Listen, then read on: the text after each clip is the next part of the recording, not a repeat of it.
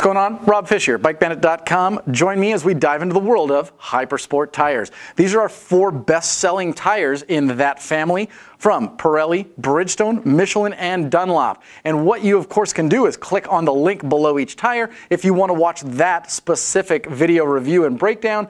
But the mentality is a lot of grip, not a lot of life. Fantastic dry performance, not a lot of wet weather performance. You're going to notice the lack of tread on there.